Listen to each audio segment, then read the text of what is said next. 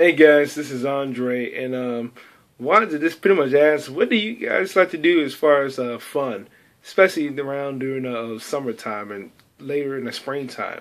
Uh, the reason why I, I bring that up is because uh, I know personally during the summertime, it's always gets wild as far as uh, movies, and I, I like to watch movies uh, pretty much their first showings on a Friday morning. Why? Because nobody, hardly anybody's in the theater. I want to say nobody's in the theater because uh, sometimes school's out around that time, and uh, or, or but uh, people don't really go to the movies in the morning.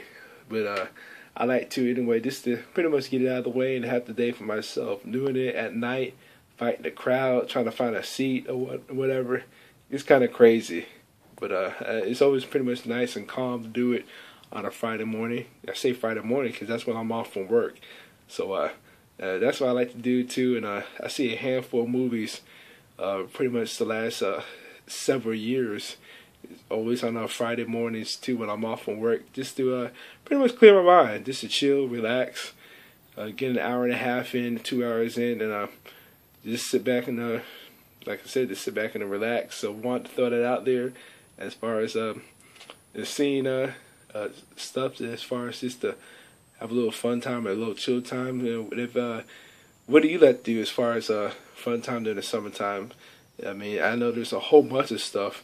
Uh, traveling being one, maybe being with family, or if you have kids, going to uh, different uh, sporting events if they're in sports.